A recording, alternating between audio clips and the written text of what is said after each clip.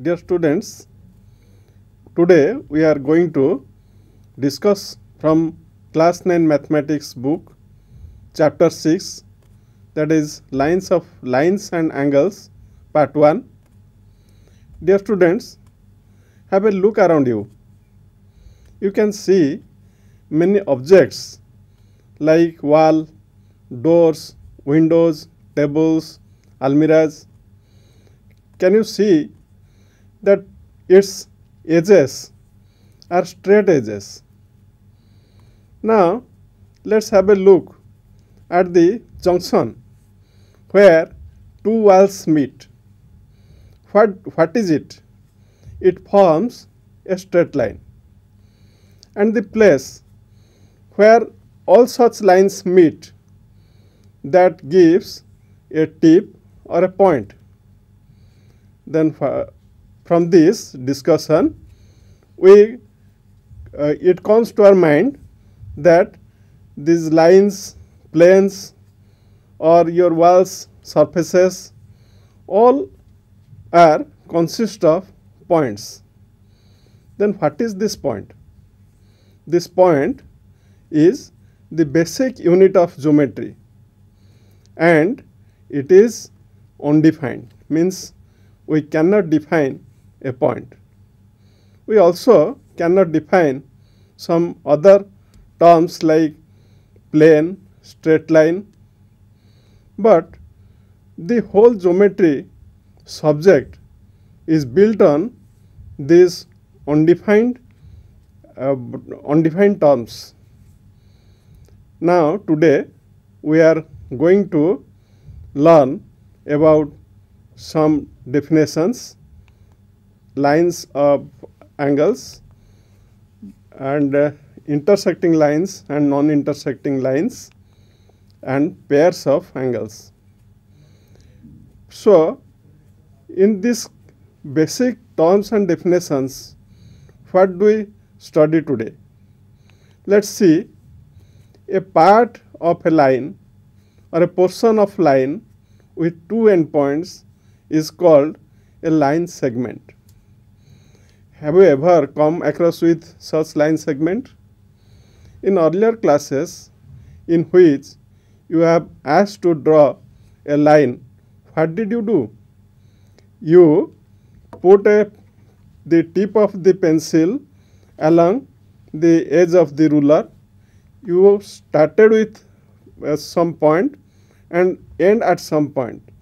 Whatever till today you have drawn that is line segment because you are starting with a point and you are ending with a point. We can extend it on both sides indefinitely. So, we can say this line you have drawn from a starting point to end point that gives a uh, line segment and the line segment AB is denoted by AB bar upon it and a part of line with one endpoint is called a ray. That means if we start from a point along the ruler and go on uh, drawing and drawing onwards in uh, infinitely then we will get a ray. So, in a plane on which we are dealing with is not so vast. So, we have to represent the ray with a arrowhead in its one end as it is seen in your screen. So, the ray AB is denoted by AB with a arrowhead, single arrowhead upon it. Now, what is a straight line then? A line AB means here we uh, the straight line. The straight line AB is denoted by AB with a double arrowhead upon it. What does it mean? It means if we take two points on AB and we go on uh, drawing to both side both in the direction of A and in direction of B. If we stretch the line in infinitely then that will be a straight line. This shows that to represent it on the uh, paper we have to make two arrowheads on a line. This arrowheads indicates that they are extendable to both sides.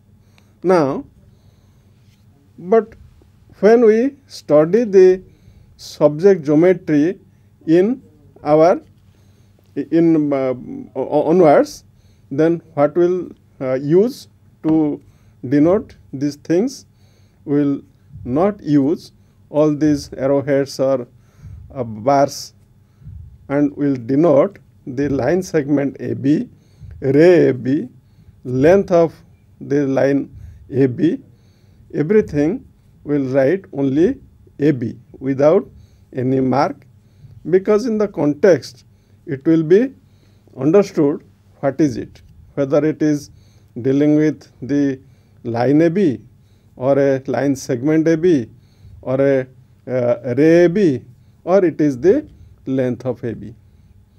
Okay? Then comes to angles. What is an angle? The angle is formed when two rays originate from the same endpoint. As we know, ray has one endpoint and it extends infinitely.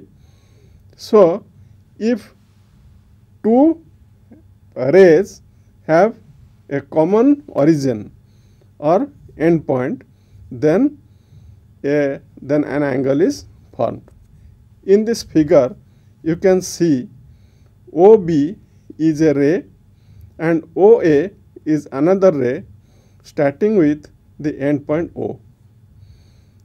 And in the next figure, you see QR is a ray with uh, origin, origin Q and another ray with origin Q is QP that forms the angle PQR.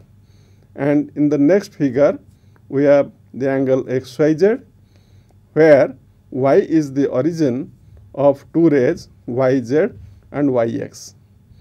So, when we consider these angles, we have to uh, study about the naming of an angle, how to name it.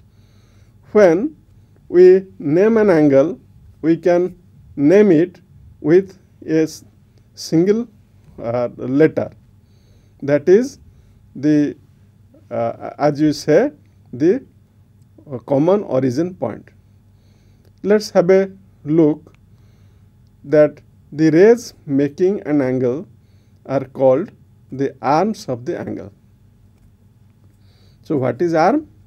Arm means you see here the rays OA and OB are the arms of angle AOB, QR and QP are the arms of angle PQR, YZ and YX are the arms of angle XYZ.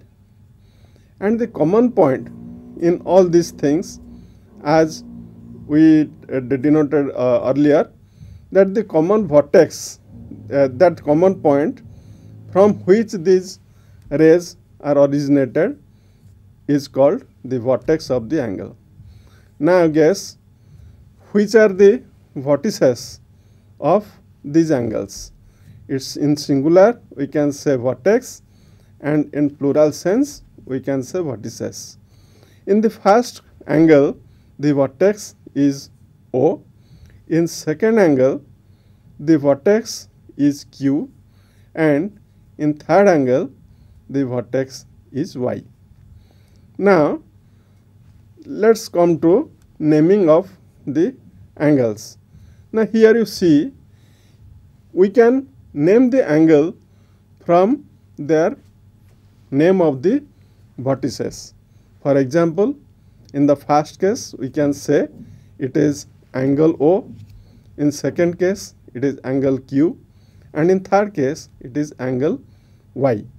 But it is not always convenient to name the angle in one letter.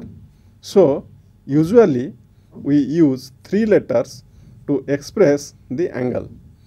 And how to write that? The vertex must be the middle letter of the name.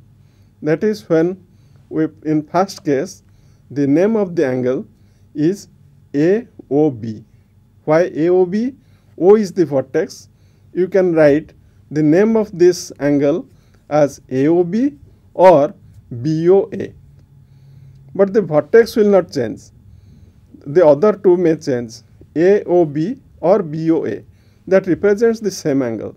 Similarly, PQR or RQP that represent the same angle, but Q will not change its position. Similarly, while writing the name of the third one that is XYZ or ZYX, Y is the vertex and this letter will come at the middle of the name. Okay? Then we will learn about some specific angles. Before going to discuss these specific angles, we have to know what is the measure of angle and how to measure it. The measure of angle means it is the degree of rotation of the rays from its initial position to the next position or final position. Here we discussed that two rays constitute an angle, but actually these two these are the two positions of the rays.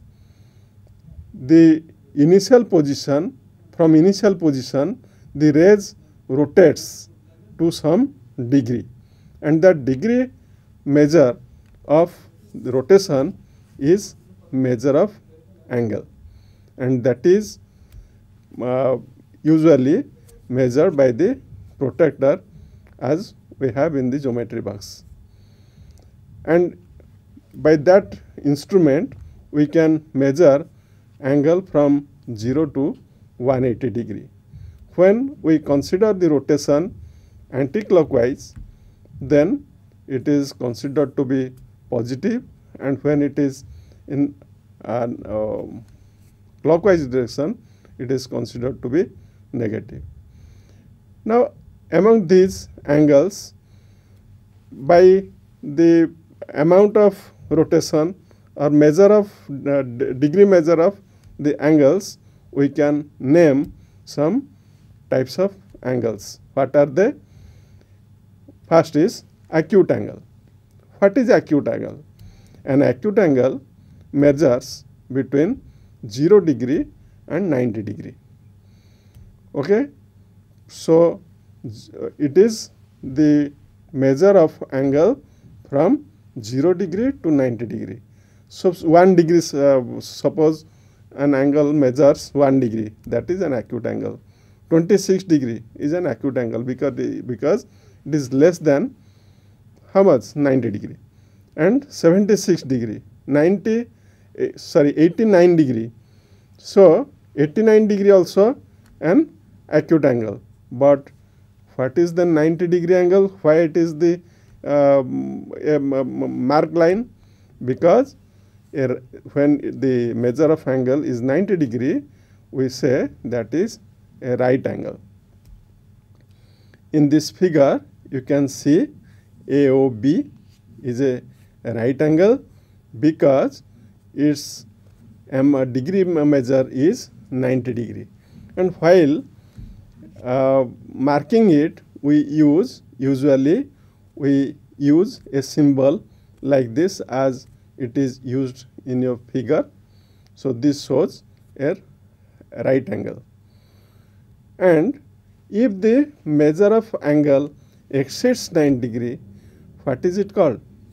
An angle greater than 90 degree but less than 180 degree is called an obtuse angle. Here BOA or AOB is an obtuse angle because the rotation has exceeded 90 degree. Now you see when the rotation comes to in such a position that the initial position and the final position of the rays are completely opposite to each other then it forms a straight line. So, the angle that is angle between OB and OA rays is called straight angle and the amount of this angle is 180 degree. And if this angle measure increases 180 degree then what happens? Its name will be reflex angle. So, an angle which is greater than 180 degree but less than 360 degree is called a reflex angle. While writing a reflex angle, we have to denote its uh, acute or obtuse angle we have to consider. If we say reflex angle AOB, that means it is 360 degree minus angle AOB because whenever we discuss about an angle it always comes to our mind that a figure that uh, that measures from 0 degree to 180 degree. So, if I say it is angle AOB definitely you will uh, in the first look you will see that your uh, it will come to your mind that the value which is less than 180 that is your angle AOB. So, when we uh, express an re, uh, reflex angle then we have to uh, write that reflex AOB. Simply we cannot write AOB, we have to write reflex AOB that means 360 degree minus degree measure of angle AOB. Now, we have to uh, study some other type of angles that is complementary angles and supplementary angles. Complementary means what? When the sum of two angles is 90 degree, then we call the both the angles are uh, said to be complementary angles to each other. And similarly, if two angles whose sum is 180 degree are called supplementary to each other. By using this definition, we can have many problems from this uh, such as suppose two angles are complement which are in the ratio 2 is to 1 then find the angles. So, in this case what to do? Suppose the angles are in the ratio 2 is to 1. So, the value of angles we can write that 2x and x 2 is to 1. The angles are in the ratio 2 is to 1 so, we can write the values to be 2x and x degree. If they are supplement complementary then 2x degree plus x degree that gives 90 degree that means 3x degree is equal to 90 degree or x is equal to 90 degree by 3 that is 30 degree. If one angle is 30 degree, then the second angle is 2x that is 60 degree. Now see our angles were 2x and x and x is 30 and 2x is 60 and sum is 90 degree. So 60 degree and 30 degree are complementary to each other. Similarly, we can have many such problems in supplementary also, supplementary angles. Now, let us consider adjacent angles. Two angles are said to be adjacent if they have a common vertex a common arm and their non-common arms are on different sides of the common arm. Now look at the figure. Here we have AOD and DBC, two adjacent angles. Here B is the common vertex and BD is the common arm. Now, which are the uncommon R or non-common arms? BA and BC are non-common arms. Where they lie? If we extend BD in direction of B also, then we can have two parts of BD. In one half, we have BA and in other half, we have BC. So, we can say that these uh, arms AB and BC are on different sides of the common arm. Now, what is specific about these adjacent angles? Let us see. When two angles are adjacent, then their sum is always equal to the angles formed by the two non-common arms. Here the non-common arms are AB and BC.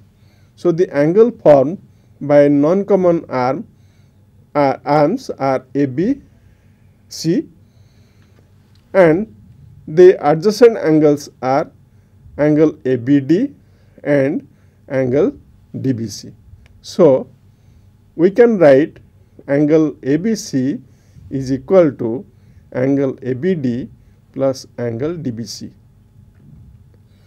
Here when we are adding the angles that means what we are adding? Are we adding the figures DBC, DBA etc.? No, definitely not. What we are adding is the degree measure of these angles. So, the, the degree measure of angle ABC is same as the sum of degree measure of angle ABD and degree measure of angle DBC. In this figure, we have also two adjacent angles. Here, the non-common arms BA and BC form a line. If the non-common arms BA and BC form a line, then angle ABD and angle DBC are called linear pair of angles. If two lines intersect each other, we have four angles. The vertical opposite angles. The vertically opposite angles formed when two lines AB and CD intersect each other say at a point O. In this case, we have a pair of vertically opposite angles AOD and BOC. Can you find the other pair? The other pair is angle AOC and angle BOD. If you are asked to draw different lines PQ and RS on a paper, you can draw it in many ways. From those ways, we can categorize it into two ways. What are they?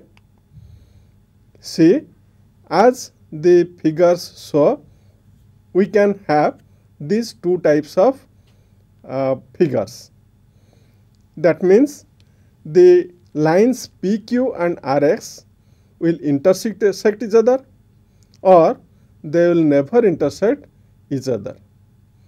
If they will never intersect each other, then the lines are called non-intersecting lines and if the lines intersect each other, then they are called intersecting lines. If a plane, if on a plane the non-intersecting lines are there, if we extend it infinitely and they will never meet, that means the lines are parallel. Why they are parallel? Because the distance between these two lines will always remain same. How to know the distance between them? The lengths of the common perpendiculars at different point on these parallel lines is the same.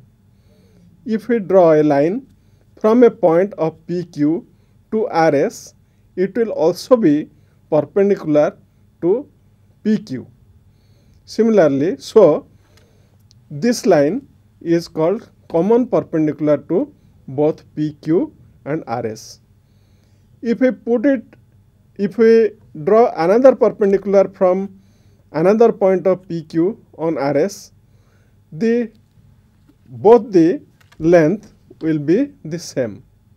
So, this equal length is called the distance between two parallel lines. Let us find out the relationship between the angles formed when a ray stands on a line. Here in this figure, you can see AB is a line and OC is a ray. Now, what are the angles formed here? Here, the angles formed at O are AOC, BOC and AOB. Then, what is relation between these two? As we know, AOB is the uh, non-common arms of the adjacent angles AOC and BOC. So, AB uh, is a straight line and the angle obtained by the non-common arm is same as the sum of the angles at the adjacent angles. So, you can write angle AOC plus angle BOC is equal to angle AOB. What is the measure of angle AOB? You know as AB is a straight line. So, AOB is a straight angle means its measure is 180 degree. So, we can say that angle AOC plus angle BOC is 180 degree. From this we can have an axiom what axiom says? If a ray stands on a line, then the sum of two adjacent angles so formed is 180 degree. Why it is axiom? Because we cannot prove it logically. By experience, by drawing, we can show that the one the sum of angle AOC and BOC will be 180 degree. So, the axiom says again if a ray stands on a line then the sum of the two adjacent angles so formed is 180 degree. Recall that when the sum of two adjacent angles is 180 degree then they are called a linear pair of angles as we discussed earlier. Using this, we have some examples, some uh, problems. Let's solve it. If a ray OC stands on a line AB such that ratio of angle AOC and BOC is equal to 7 is to 5, 5 find the measure of each angle.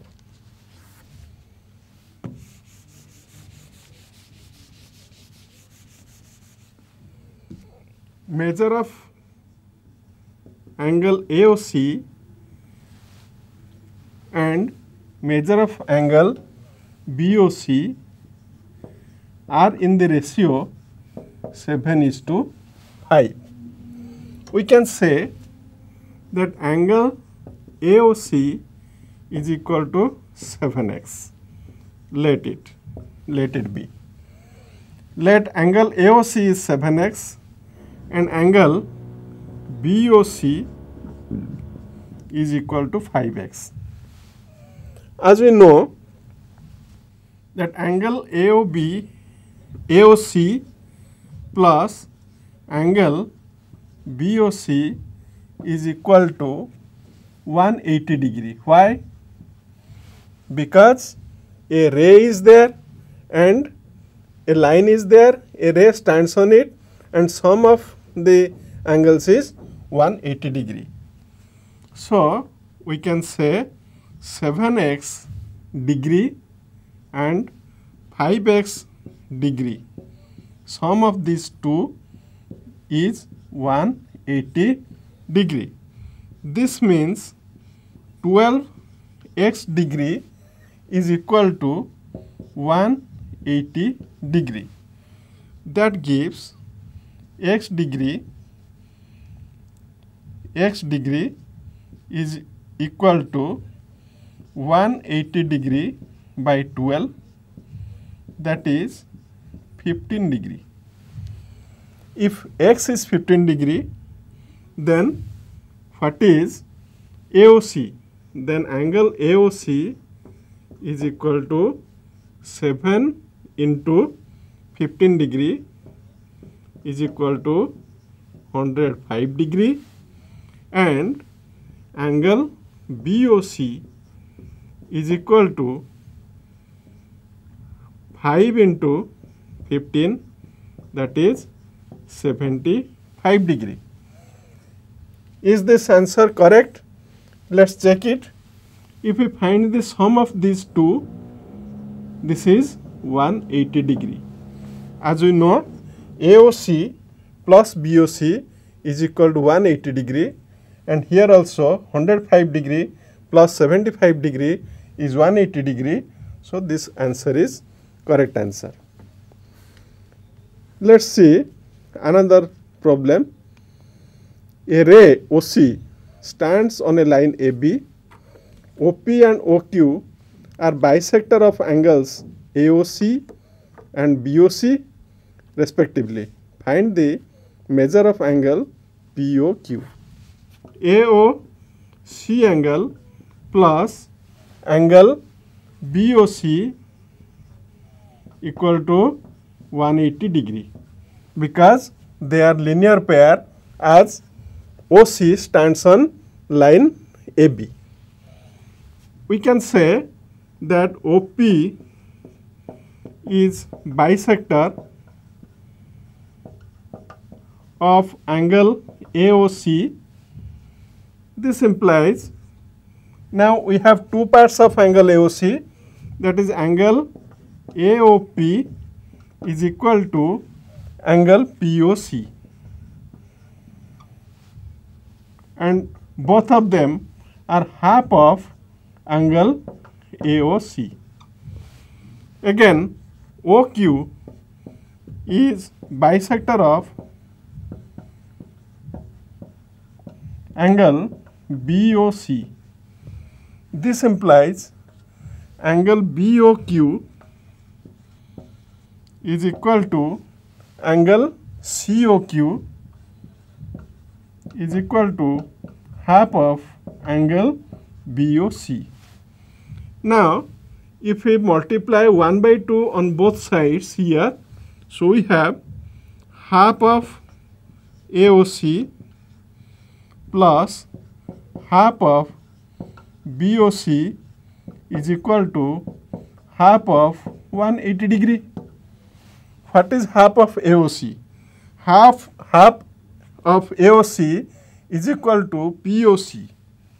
So, angle POC similarly half of angle BOC is equal to COQ.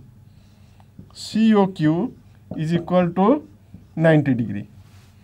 Now, POC and COQ are two adjacent angles and their non-common arms are PO and OQ. So, angle POQ is equal to 90 degree. So dear students, today we discussed about various definitions of straight lines and angles, different types of angles and pair of angles like adjacent angles, complementary angles, supplementary angles and we also learned that when a ray stands on a straight line then the angles so found are linear pair. So dear students, this is the end of the lesson today. Thank you.